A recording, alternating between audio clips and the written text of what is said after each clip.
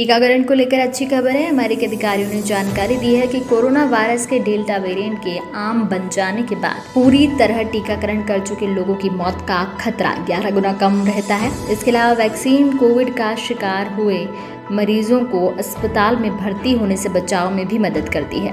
हाल ही में राष्ट्रपति जो बिडेन ने देश में एक्शन प्लान का ऐलान किया था, जिसके तहत टीकाकरण को लेकर कड़े निर्देश जारी किए गए। अमेरिकी स्वास्थ्य अधिकारियों ने शुक्रवार को कहा कि पूरी तरह टीकाकरण करा चुके लोगों को अस्पताल में भर्ती होने की संभावना दस गुना तक कम हो जाती है, जबकि मौत से बचाव में यह आंकड़ा ग्यारह फ़ीसदी है। हाल ही में centers for disease control and prevention की तरफ़ से तीन नए पेपर जारी किए गए हैं। इनमें से एक पेपर में जानकारी मिली है। एक स्टडी का डेटा बताता है कि डेल्टा वेरिएंट के सामने आने के बाद मॉडर्ना की वैक्सीन ने अन्य से थोड़ी ज़्यादा सुरक्षा दी है। कपड़े का मास्क एक वर्ष तक असरदार हो सकता है, क्योंकि बार बार धोने और सुखाने से संक्रमण फैलाने वाले कणों को छानने की उनकी क्षमता कम नहीं होती।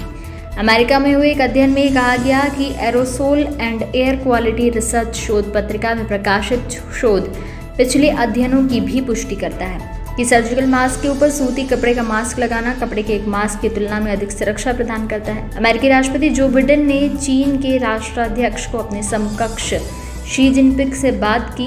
व्हाइट हाउस ने कहा कि अमेरिकी राष्ट्रपति ने गुरुवार को सात महीने में पहली बार अपने चीनी समकक्ष शी जिनपिंग से बात की।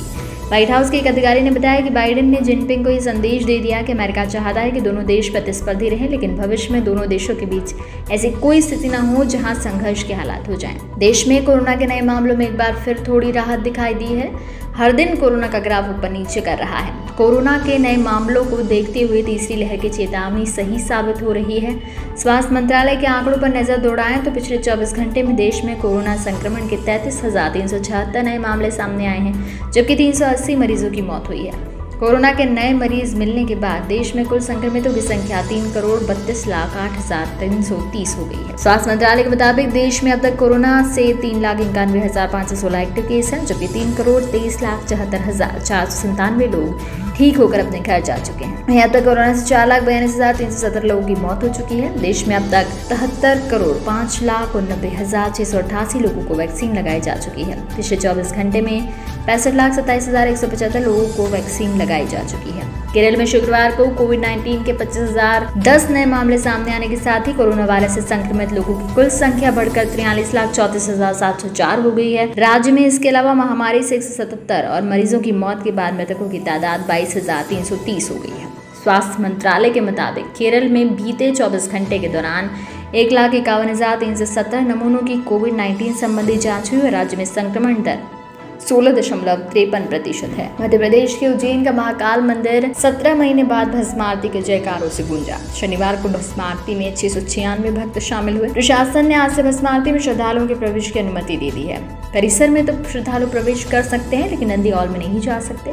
दिल्ली, राजस्थान, बिहार, महाराष्ट्र, उत्तर प्रदेश सहित कई जगहों से महाकाल के सामने शीश झुकाने पहुँचे श्रद्धालुओं ने सुख समृद्धि के साथ कोविड से मुक्ति के लिए भगवान श्री महाकाल से प्रार्थना की। हिमाचल प्रदेश में बीते तीन दिन में रुक रुक कर बारिश हो रही है। इसी बीच शिमला, मंडी, कुल्लू, लाहौल स्पीति सहित कई जिलों में बारिश से जनजीवन खासा प्रभावित रहा। हालाँकि राज्य के कुछ इलाके अभी भी सूखे की मार झेल रहे हैं। जैसे शनिवार रात से सुबह तक मंडी के कई इलाकों में बारिश होती रही।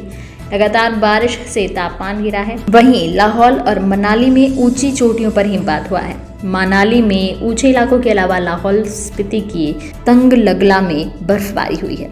आज लगातार छठवें दिन फ्यूल रेट स्थिर बने हुए हैं। इस हफ़्ते तेल के दाम जस के तस बने हुए हैं। कीमतों में कोई बदलाव नहीं हुआ।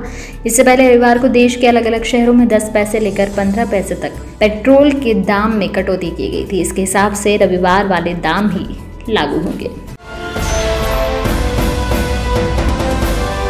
सब्सक्राइब करें, जे टाइम्स और साथ ही नोटिफिकेशन पाने के लिए बेल आइकन को दबाएँ।